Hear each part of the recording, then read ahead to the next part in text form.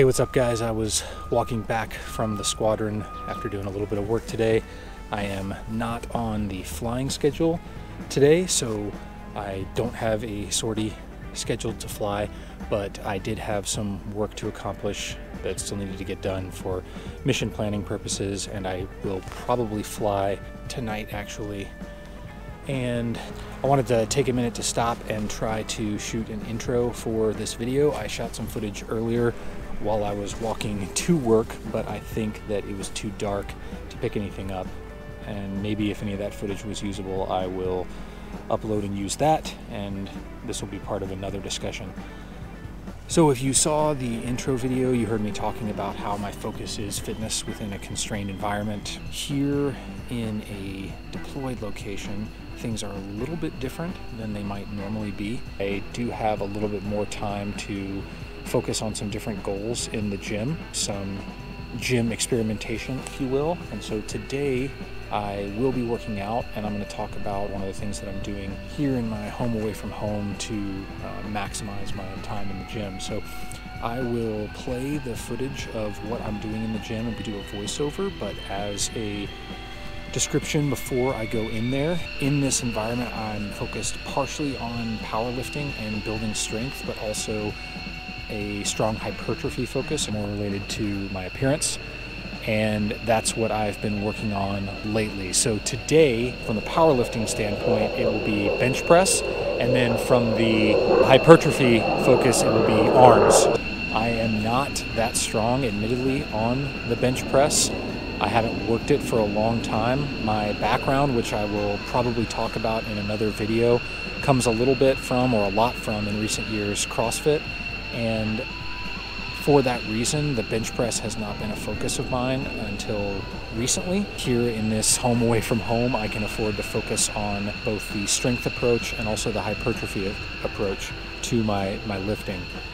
The two are obviously very integrally related, and you're going to see what I'm using to grow both of those facets. Even those efforts in the gym that are less related to the strength portion and more of the aesthetic or hypertrophy focus are still contributing to my strength, which is an integral part of my performance in the aircraft. I think it would be impossible to design a workout that doesn't tap into that muscle size and muscle development as you're trying to develop strength. So as I'm executing this program in the deployed environment, I'm marrying the two and using all those benefits. I have eaten today, so I will go into this workout with food on my stomach. That's not always true. I plan on doing a nutrition video to talk about how I structure my eating.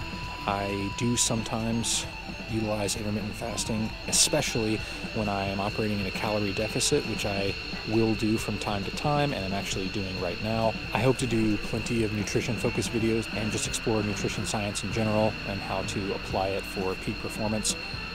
But also, I very much love food and I am very interested in nutrition science as it relates to both fuel and fun, and I wouldn't have the Fighter Pilot Fitness channel without exploring the food and nutrition science side of things, and I think it's important to do so. So without further ado, I will go back and change, and then I am going to take my pre-workout stuff and get on to the gym, hitting the bench press from a powerlifting approach, and then working arms, and I will showcase those workouts when we get there.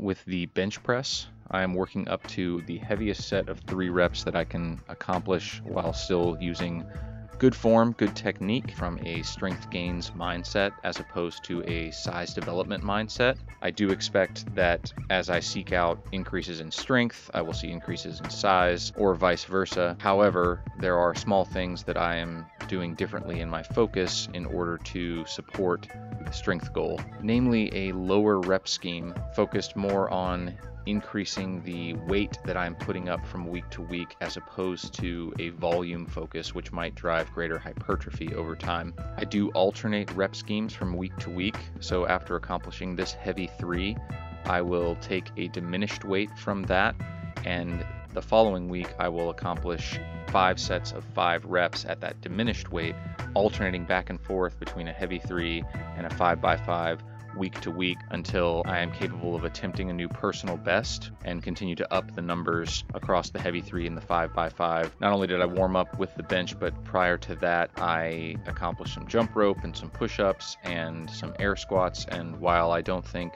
those particular exercises have any specific benefit to the bench press, I think that the warm up in general is critical to any exercises that I'm going to attempt. And it's important that any warm up is rigorous enough to prime your muscles and your central nervous system for execution of what you're going to do during that day. There's a link in the description to an excellent video on bench press technique by a gentleman far more qualified to give such advice than myself by the name of Jeff Nippard, and he details all the ways in which you can ensure that your bench press is meeting perfect form standards and perfect technique standards so that you get the maximum results while also protecting your body across the board.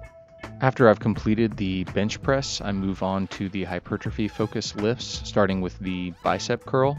I do give myself adequate time to recover. The powerlifting in particular can be somewhat exhausting, and I want to make sure that I'm adequately recovered before commencing the rest of the lifts for the day. I'll accomplish three sets of bicep curls with a reverse pyramid rep scheme. I'll target 8 reps and then 10 reps and then 12 reps, stepping down the weight each time. I've got links in the description to articles on potential benefits for reverse pyramid training. A good summary is that reverse pyramid training has shown some benefits specifically for complex movements in terms of isolation movements, there is evidence to suggest that there is minimal difference in utilizing a reverse pyramid rep scheme versus a more traditional straight set. And I personally find that the reverse pyramid scheme seems to suit my progress, especially in the calorie deficit in which I'm operating. The most important principle remains control of the variables that best suit your goals, namely the volume that you're putting up over time and applying progressive overload to whatever rep scheme you're attempting to implement. And because the reverse pyramid scheme doesn't detract from capitalizing on progressive overload or volume and may support greater volume in some trainees, there is evidence to suggest that it can be as effective as other rep schemes. I will attempt to maintain perfect form and continue to keep the biceps isolated. As I get more tired, I notice my tendency is to rock the upper body, which is something I combat as I get more fatigued. Moving on to the tricep overhead extension with a dumbbell. I'm again trying not to rock, which can be a tendency as I get more exhausted, but would obviously detract from the isolation of the triceps. I'm still implementing a reverse pyramid scheme, targeting 8, 10, and 12 reps with decreasing weight across each set, but week to week, I will still work progressive overload either by building the volume to reach that 8, 10, and 12 reps if I've been unable to in previous weeks at the same weight, or once I've reached that scheme with good form and good technique, upping the weight across the sets. Specifically of note in a calorie deficit, if you have to pick one or the other to sacrifice in terms of volume or weight, I have a link to an article down in the description by Lyle McDonald who highlights that in order to preserve strength and preserve muscle, you can afford to drop the volume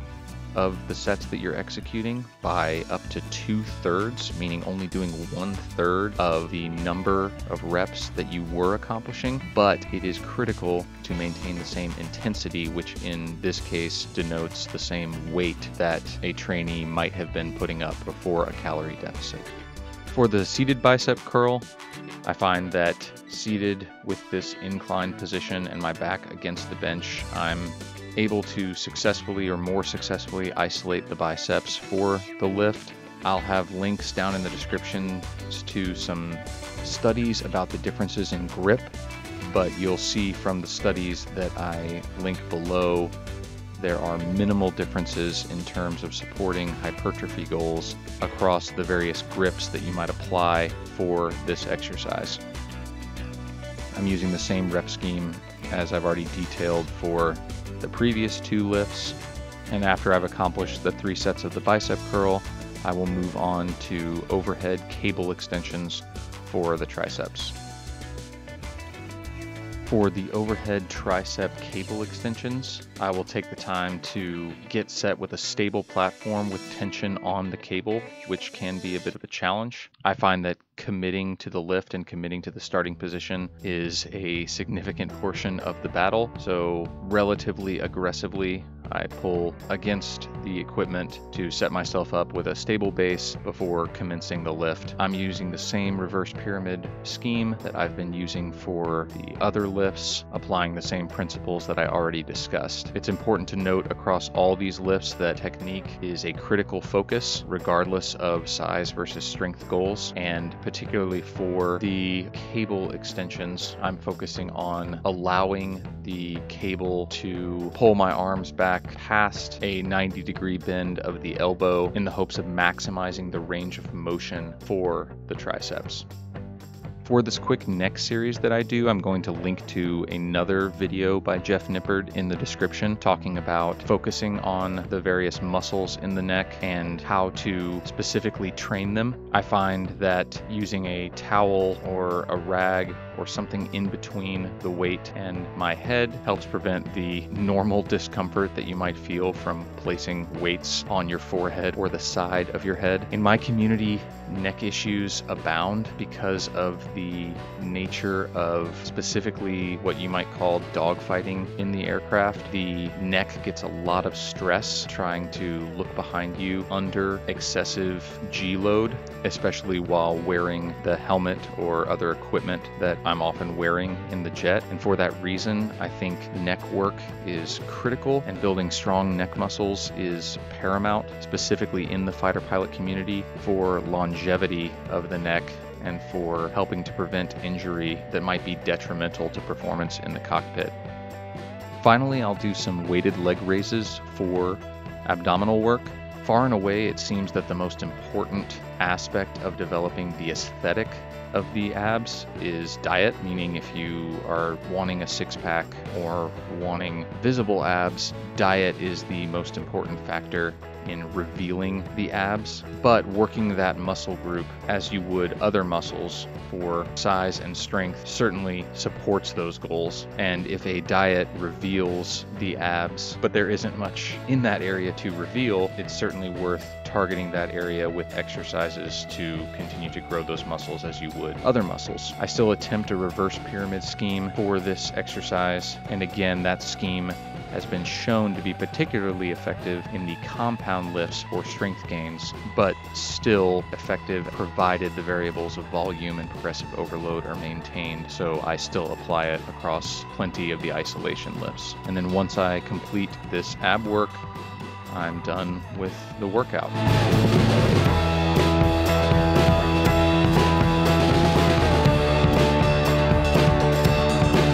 All right, guys, that was the chest and arm focused workout, the powerlifting bench press and hypertrophy focused arm lifting day.